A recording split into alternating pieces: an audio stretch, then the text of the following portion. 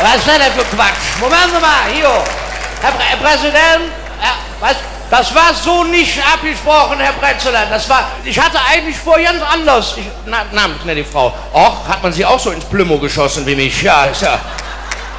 Es tut mir leid. Äh, Darf ich mal kurz durch? Hofnarr, ich habe so eine Schwellung. Ich habe mir das auch nicht. Ich bin der Karierte sonst. Ja, kann man nur nicht so gut erkennen. Man hat mich ja in einen Sack geschossen. Äh, Das gefällt mir gar nicht. Ein Originalkostüm von 1823, ja. So riecht es auch. Die hatten damals keine Reinigung. Und diese Tradition haben wir behalten. Da krieg ich so einen Hals drüber, nicht wahr? Ich könnte mir alles vorstellen, aber nicht Hofnarr. Ja, lachen Sie ruhig mal. Sie können zu Hause ruhig zeigen, dass hier noch Reststimmung herrscht in dieser Hütte, nicht wahr? Das kann man ruhig auch mal zeigen der Nation. Ja, kommt Ist doch wahr. Ich meine, ich, ich muss es gerade erklären. Ich soll jetzt äh, hier äh, den Hofner machen. An der Türe haben sie mich abgefangen. Ich wollte nur gerade. Königin Mutter, kommen Sie rein. Ich bin am Arbeiten hier. Das. Äh, auch Tisch 1, natürlich, klar. Sitzen Sie bequem.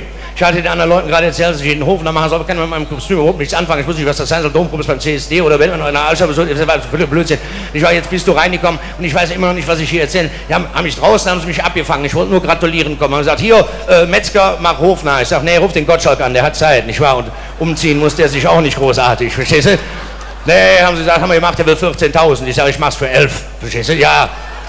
Ich habe 14 fürs Taxi bezahlt, bis 3 im Minus. So eine Schwellung, kann ich dir sagen, nicht wahr? Hofnarr, vereinzelt wird geklatscht. Das, das ist äh, Köln, nicht wahr? Ich müsste in diesem... Sie kommen aus Mainz, Sie sprechen gut Deutsch. Also ich, ja. Nee, ich bin dekoriert, da hast du mich immer noch nicht erkannt. Was hast du für ein Dioptrien? Na, lass mal nachschleifen, das ist ja nicht normal. Was habt ihr wieder für ein Zeug in der ersten Reihe gelegt heute? Das macht keinen Spaß.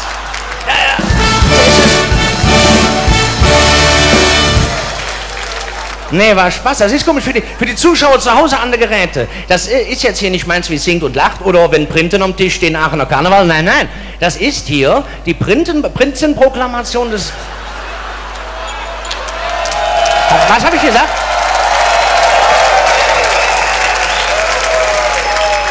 Boah, meine Jungfrau, wie lange sitzt du schon da? Die haben sie aber das Ding auf den Kopf gehämmert, da kommt ja kein Lächeln mehr durch. Ist ja. Hey, Witzka. Das ist für die Zuschauer zu Hause an der Geräte, das ist die Prinzenproklamation in Köln. Das ist quasi der Beginn eines der größten Volksfeste weltweit. Es ist ein Volksfest. Was wir hier feiern, ist ein Volksfest, ein Fest für den kleinen Mann. Also, ich sag mal anders, wir feiern hier stellvertretend für den kleinen Mann. So könnte man es sagen. Ja. Das ist es, ja. Genau. Ich darf ja sagen, ich habe ja Plümo an, verstehst du? Äh, Weil der kleine Mann, der kommt hier gar nicht rein, der kriegt hier keine Karten. Ne? Das ist halt das Problem. Gucken Sie mal, schwenken Sie mal rum. Sie werden doch dafür bezahlt. Schwenken Sie hier mal rum. Dass er, Sie hatten 100 Euro. Gehen Sie mal auf den Mann, er hat 100 Euro hatte der für den Westdeutschen Rundfunk. Wir müssen von den Gebühren leben. Das sind die gleichen Leute, die letztes Jahr auch da, bis auf den Schrammer, der kommt immer näher an der Bühne. Ich verstehe es nicht. Der Immer näher an der Bühne. Ja, ja, das, hat ihr das so? Nix.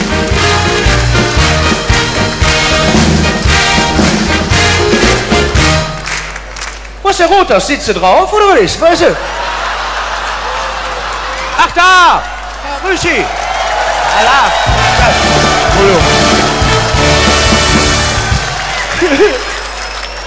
Der kommt immer näher nach vorne, der Schraube. Der will mal Präsident werden hier. Ich sehe das kommen, ne?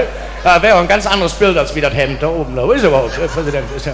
Ich war der Schrammer wäre eine Doppelspitze quasi. Aber ist egal, wollen wir nicht drüber, drüber sprechen. Nein, das ist hier, wie gesagt, äh, die äh, größte Feier im Kölner Karneval fürs Volk. Es ist quasi wie der Wiener Opernball, bloß ohne die blöde Tanzerei, kann man sagen. Ne? Das ist ungefähr das hier. Nicht wahr? Ja, äh, muss man sagen.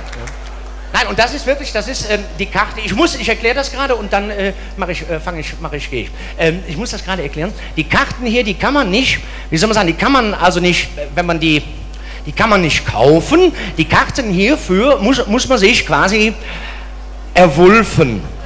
Du? Sowas in der Art. Ja, das ist neu.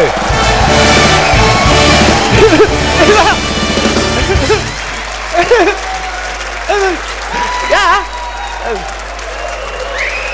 Ja, jetzt sind sie wach. Ja. Alle von der Opposition. Das ist schön. Ja, habe ich mir selber einfallen lassen. Er, er Wulfen, verstehst du? Da war, war aber on Bohai jetzt, äh, ging mir so auf die Nerven. Davon überhaupt äh, Karneval feiern in so einer Krise. Herr Wulff, da habe ich jetzt äh, wochenlang, hast du nur gehört, Affäre, Wulff, Affäre kann nicht, nur der Nachname war mir unbekannt, Affäre Wulff. Ne? Ist ja so weit gegangen, bis, bis den Fernsehen haben sie, Sondersendung, haben sie Sondersendungen, 20.15 Uhr, kämpfe ich seit 30 Jahren für, ich komme nicht rein. 20.15 Uhr sitzt der da auf zwei Kanälen, wie er das gemacht hat, weiß ich nicht, auf zwei Kanälen gleichzeitig, ja, und ist da am Erzählen. Ich sag zu meiner Frau, da müssen wir unbedingt gucken, Sondersendung, 20.15 Uhr, da muss was passiert sein, die haben kein Streusalz mehr, irgendwas ist los, wir müssen da wir gucken. 20.15 Uhr. Jetzt, echt, ich, ich schalte, jetzt, jetzt, schalte ich da, ich bin mir am Aufregen, ich mach gleich gratulieren, dann bin ich auch raus. Hier, pass, guckst du nach vorne, du bist gerade erst im Amt. So. Kann sich ganz schnell ändern. So, jetzt pass. Jetzt, jetzt gucke jetzt guck ich mir das an, um 20.15 Uhr setze ich mich vor den Fernseher und dann gucke ich mir das an und dann sehe ich diesen Mann, den ich vorher noch nie gesehen habe, in diesem zerknitterten Kommunionsanzug der mir erzählt, wo er in Urlaub war, mit wem, wer ihm die Isolierglasfenster bezahlt hat, wie eine Transparenz ne, und so. Das habe ich nicht verstanden. Da gucke ich mir 20 Minuten einen an, der sich dafür entschuldigt, dass er jemanden kennt, der ihm geholfen hat.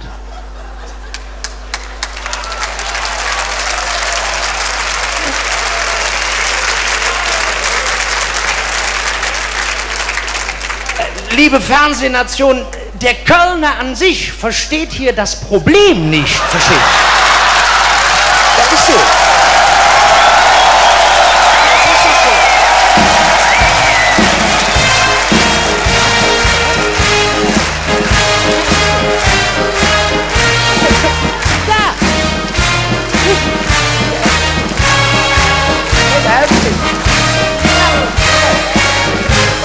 Das ist was für ein Blödsinn, oder? Wenn hier keiner einen kennen würde, wäre keiner im Saal, verstehst du? Wäre hier leer. Schrammer kriegt sich nicht mal ein. Ne? Herr Roth, das sieht nichts. Ich gehe mal rüber. Er auf. Herr Roth, Sie kennen die falschen Leute. Sie sitzen sehr weit hinten. Das ist wirklich... Ähm, das ist, verstehen Sie, zu Hause an der Geräte. Äh, in Köln ist Adenauer hat, das ist ein Gesetz, man kennt sich, man hört sich, das ist in Köln normal, nicht wahr? Und Adenauer hat es bis zum Bundeskanzler gebracht, nicht wahr? Mit seiner eigenen Stimme. Also man sollte sich auch selber kennen. Das ist auch sehr wichtig, dass man sich selber mit ins Boot nimmt. Nein. Ne? Ich verstehe das nicht. Ich, ich, kann, ich habe da kein Verständnis. Gut, äh, ich meine, jetzt äh, muss ja nicht jeder immer gleich zurücktreten, ist ja furchtbar. Äh, das ist ja äh, Quatsch, nicht weil diese äh, zurücktreten. Kann, der, der Gutenberg ist doch frei, kann der doch machen. Der kann, der kann den Kredit dann abschreiben. Ha, ha, ha, ha, ha, ha. Wortwitz vom Feinsten. Als äh, ich mich selber nicht mehr ein. Sie überlegen noch, ne? Ja, ja, das. Nee, das war, ich muss, muss sagen, lass, lass den doch einfach, lass den doch Kölner werden. Ich, pass auf, ich muss, eins muss ich sagen, ich fange dann aber auch an. Äh, eins muss ich sagen, äh, Herr äh, Bundesherr, äh, ja, was für einen Titel Sie auch gerade zur Ausstrahlung dieser Sendung noch haben, ich weiß es ja nicht. Ähm,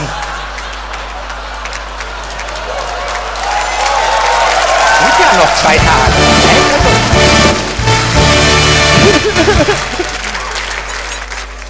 Schon so spät. Nein, Herr, äh, hier Dingens. Herr, pass mal auf. Eins muss ich Ihnen, eins muss ich Ihnen sagen. Was Sie da mit der Presse gemacht haben, das war wirklich, das war nicht. Äh, da äh, hätten Sie auch. Quatschen Sie, ja, den Anrufbeantworter voll. Schicken Sie doch eine Mail, das hört keiner. Verstehen das? Da. Zugesülzt. Selber schuppen. Oh. Das nervt mich aber langsam auf. Ich habe mal keine Schützen im Saal. Das ist ja aus dem Königsvogel hier. So. Herr, Herr, äh, hier, Dingens. Wenn Sie das nächste Mal bei der Presse, Sie müssen schon, Sie müssen schon wissen, wie man mit der Presse arbeitet. Das lernt man selbst im Kölner Karneval. Also so, so schwer. Ich, ich gebe Ihnen mal einen kleinen Tipp. Wenn Sie jetzt noch nicht, wenn Sie noch da, also wenn Sie jetzt, was auch immer Sie sind. So, ähm, gebe Ihnen mal einen kleinen Tipp für die Pressearbeit. Ich mache das zum Beispiel so, wenn mich in Köln die Presse anruft und fragt, Herr Metzger, wie ist es? Dann sage ich immer, weiß ich noch nicht, ich muss morgen erstmal Ihre Zeitung lesen. Ja? Wenn dann am nächsten Morgen drin steht, dass ich im Krankenhaus bin, ich aber zu Hause sitze, rufe ich direkt im Krankenhaus an und sage, tut mir leid, dass ich was spät dran bin, aber Sie wissen ja, schnell, schneller Express. Ne, das ist dann, zack, so läuft das dann da. Ja,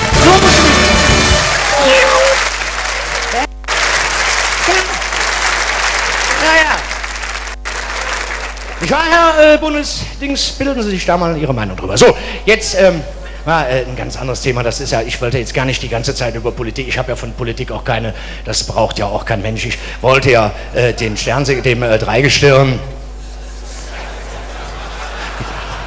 Ja, wir haben, wir haben ja noch früh im Karneval, ich bin völlig durch. Ich hatte, ich hatte heute Mittag noch Besuch hier von der katholischen Singmafia. War ja furchtbar wieder. Das ist ja, oh, Kasperle, Melchior und Balsam oder wie sie heißen. War ja furchtbar. Noch ein Gloria oder Süßigkeiten? Ich sage, nein, nein, nein, hier, hier habt ihr alles. Ne? Nein. Ich möchte hier nicht äh, politisch werden. Ich möchte dem äh, Amtierenden, ja, ist schon amtiert?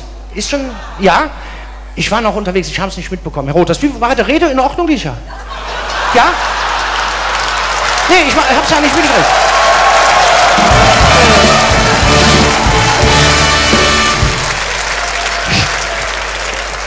Sind Sie beschwerdefrei drüber gekommen, ja? Hier, kleiner Tipp von mir, wenn es nicht so gut geklappt hat, auf keinen Fall der Presse anrufen, sonst sind Sie morgen weg. Sind Sie Obwohl, versuchen Sie es mal, vielleicht ist es in Köln anders. So ist egal. Also, Nein, ich möchte es jetzt wirklich nicht zu einem äh, politischen äh, Vortrag, ich möchte jetzt einfach unserem äh, Dreigeschirr gerade leck mich in den Knien, was habt ihr denn da gemalt? Das ist ja Wahnsinn. Das ist, das ist ein neues Bühnenbild, das ist sehen. Du darfst dich bewegen, du bist gar nicht Bühnenbild, du bist äh, ein Sessel. Ich, äh, das, ja, das ist das neue Bühnenbild, habe ich auch in der Zeitung gelesen. Der Gürzenich ist in der Moderne angekommen. Hat den Gürzenich mal gefragt, ob er das überhaupt will. Also ich äh, komme hier nicht, also das, äh, das ist doch, das ist dieses Wahrzeichen, das Gerüst, das große Gerüst. Das ist ja... Das, ja, kennen, äh, viele von Ihnen kennen das, das große Gerüst, das äh, ehemalige Warnzeichen von Köln, nicht wahr? Ja, ja. Wo der Kölner von meint, dass noch eine Kirche drin steht. Das ist aber, die ist schon weg. Muss man durchzählen, wie viele Japaner da jeden Tag mit dem Rucksack reingehen. Wenn da jeder nur einen Stein mitnimmt, ist das Ding bald in Peking. Also das ist ganz furchtbar. Da ist das Gerüst. Das ist also das. Ah, und das, jetzt verstehe ich, ich muss mich erstmal, ich finde mich gerade ein. Das, ist, äh, die, das sind diese Kranen, das ist dieser Kranbau, das dieses Ding. Das ist schön, das muss ich für zu Hause erklären. Das ist wieder so typisch Kölsch, verstehen Sie? Das ist, nehmen Sie sich zu Hause, nehmen Sie sich mal Bauklötzchen und dann versuchen Sie das mal nachzubauen. Das hält nicht. Ich habe schon wochenlang Angst. Sie haben sehr wahrscheinlich bei Niedrigwasser angefangen zu bauen. Jetzt ist Hochwasser, können Sie den letzten Pfeiler nicht mehr hinstellen. Das ist ganz gefährlich, ist das. Warte ab, da geht noch zwei Monate gut, dann fallen die oben, haben wir drei Fußgängerbrücke nach Ports. Egal, so macht's der Kölner. Das, das ist das Bühnenbild. Das ist auch toll. Ihr habt das toll. Wer hat, wer hat sich das einfallen lassen? Festkomitee, ne? Schön. Auch hier mit den Menschen mit den Pappnasen, toll. Tünnes und Schäl habe ich gesehen. Tünnes und Schäl gab es gar nicht. Ne? Dombaumeister Gerhard habe ich auch gesehen. Dombaumeister, er ist Dombaumeister auch dabei. Und Lukas Podolski. Wie stehen wir denn vor der Öffentlichkeit da? Zwei, die es nie gegeben hat, einer, der nicht fertig geworden ist und einer, der nie mitspielt. Das sieht doch blöd aus, oder? Ehrlich. Ja, meine Herren.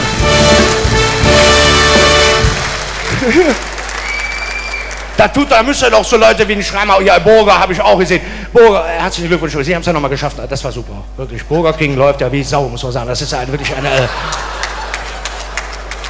ne, oder also ich war ganz, ganz ehrlich, ganz ehrlich, ich hätte auch gerne einen Herrn Rotas im Bühnenbild. Ich sage mir immer, lieber im Bühnenbild als in der freien Bildbahn, aber das ist egal, weißt du, dann ist ja irgendwie. Das, ich, ich will jetzt nicht platt werden, Herr, Rotas und ich, wir, Herr Schrammer, das, ich muss das eher nachfragen, wir verstehen uns super. Wir, wir sind Freunde, wir sind, ja, wir schreiben uns wöchentlich. Er nennt mich immer ganz liebevoll lieber Verkehrsteilnehmer. Schreibt er mir jede Woche. Lieber Verkehrsteilnehmer. Wir kennen das, ne? diese Schreiben, das ist schön. Lieber Verkehrsteilnehmer, fand ich jetzt doof, was sie da gemacht haben. Entweder treten sie zurück oder schicken 10 Euro und so. Ne? Sag ich immer, wenn du deinen Laden im Griff hättest, hätte ich einen Parkplatz gehabt. Aber ist egal, das ist, äh, das ist unsere Kommunikation. Ne? Aber komm, ist gut, ist, ist gut. Komm, äh, ich fange jetzt an, ich fange jetzt an. Ich sage mal, Hauptsache das ist bunt. Das ist, ist das Wichtigste in Köln, muss man wirklich sagen, dass das bunt ist. Das ist, das ist, das ist, äh, das ist ein kölsches Gefühl, das kann man ja nicht beschreiben. Bringt singt, glaube ich, dieses Jahr. Kölle, du bist bunt. Ne? Ja, ist jede Sprache in der Mund, hast jede Farbe auf der Fahne, Kölle, du küsst an. Das, das sind so Gefühle, die kann man zu Hause an der Bildschirme, kann man nicht verstehen. Da muss man nach Köln kommen und muss das, muss das einfach spüren, was hier abgeht. Das ist äh, unbeschreiblich. Köln ist eine Stadt, die, ich glaube, weltweit die einzige Stadt, die zig zigtausend Lieder, ihr eigenen, zigtausend Lieder, in denen der Kölner am liebsten über sich und über die Stadt singt, über die Offenheit, über die Menschlichkeit, über die Wärme und über die Toleranz der Kölner. Das ist der absolute Wahnsinn. Und ich habe in der Zeit, wo ich, ja Schatz, gerade so schön, ich komme nicht runter in dem Sack. Das, ah, jetzt sitze ich wie Sie, ne? Ja. Ich habe gerade in der Zeit, in der ich äh, hinter der Bühne äh, stehen musste, durfte, äh, so kurze Zeit, habe ich viele, viele Beiträge gesehen, auch der Kollegen. Und äh, ja, Sie haben es alle mitbekommen. Einer derjenigen, der uns viele, viele dieser Lieder geschenkt hat, ist von uns gegangen. Und dann habe ich zu Hause gesessen und dachte, mein Gott, jetzt was mache ich als kleiner Karnevalskasper? Sagst du was? Ne? Dann habe ich mich hingesetzt und habe mal überlegt, was hat er denn so geschrieben, nicht wahr? Und dann ähm, fiel mir eine Geschichte ein, beim Sammeln der Lieder, fiel mir eine Geschichte ein. Äh, ich hatte ein, ein Treffen damals mit Hans Knipp in einer Fernsehsendung, in einer der wenigen Sendungen, die er damals überhaupt besucht hat. Und äh, da hatte der Moderator Bernd Stelter hatte gesagt, nach der Sendung zu ihm im Gespräch, sagt er, lieber Hans, ich weiß, du bist ja bescheiden und du magst das nicht, wenn man dich Bauch pinselt, aber ich habe eben in der Sendung gesagt, äh, du hast tausend Lieder geschrieben. Und da guckte Hans Knipp ganz bescheiden zurück und sagte, Bernd, macht nichts, waren 1400. Und da habe ich gedacht, ja, das, das, das ist Kölsche Seele, oder? Und äh, es, ist, es ist was passiert, ich erzähle das noch gerade, es berührt mich einfach. Das ist, wir haben uns äh, am, am, Tag nach seinem Tod durch Zufall getroffen in, in der Hofburg. Viele Musiker äh, waren dabei, viele Redner und Irgendwann ging Kai Engel, der kleine Kai, ging ans Klavier und spielte in das Gemurmel herein, spielte Maschenken der Alepa Blümscher. Und plötzlich, völlig untypisch für die Kölsche Hofburg, wurde es ganz leise. Und es hat keiner mehr gebrüllt oder geschrien oder hat Lieder mitgegrölt. Nein, man, man summte mit, man lag sich in den Armen, konnte jedes einzelne Wort. Und das ging stundenlang so. Jedes seiner Lieder wurde gespielt und alle sangen mit, lagen sich in den Armen. Und nach, nach vielen, vielen Stunden als es dann zu Ende war, standen wir da, hatten alle feuchte Augen und hatten, glaube ich, alle nur das, das eine im Kopf. Ja, das ist Kölle. Ganz still standen wir da und dieses Gefühl, das durfte ich mitnehmen aus dieser, aus dieser Nacht und möchte mich deswegen an dieser Stelle in meiner Art und ich glaube auch in seiner einfach nur verneigen und sagen, danke, Hans Knipp.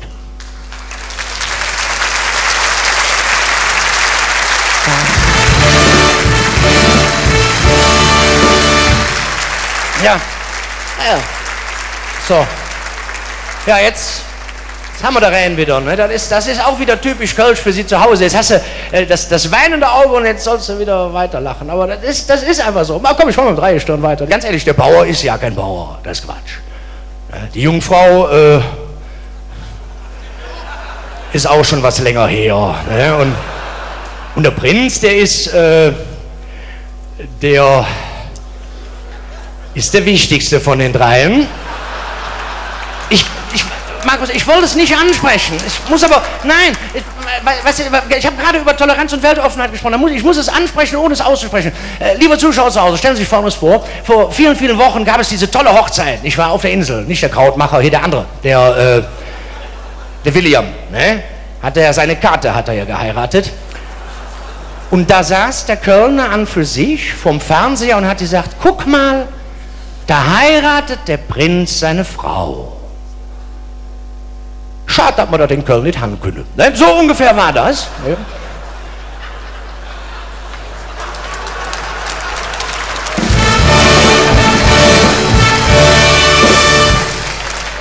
Und so habe ich es ausgesprochen, ohne zu sagen, Markus. Aber das ist genau das, was ich meine. Wir haben 100.000 Lieder der, der Freude der Menschlichkeit, des Miteinanders. Lasst uns 100.000 Lieder nicht lügen lassen. Lasst uns sie singen und gemeinsam feiern das Dreigestirn der Session 2012. Ich darf euch nur ganz recht herzlich gratulieren und wünsche euch, man sagt immer, bei der Prinzenproklamation hast du ganz schreckliches Publikum. Als Redner hat man richtig Angst. Wenn ihr das Publikum für die ganze Session habt, dann wird es die geilste Zeit eures Lebens. Ich wünsche euch eine tolle Session 2012 darf mich verneigen. Ihr Untertänigster Marc Metzger.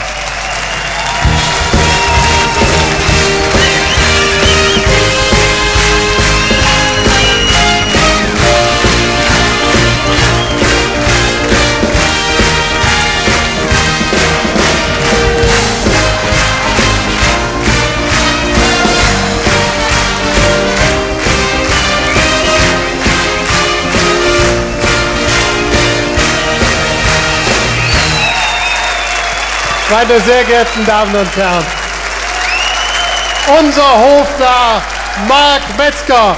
Lasst uns ausrufen, ein einfach Köln! Festkomitee! Marc Metzger!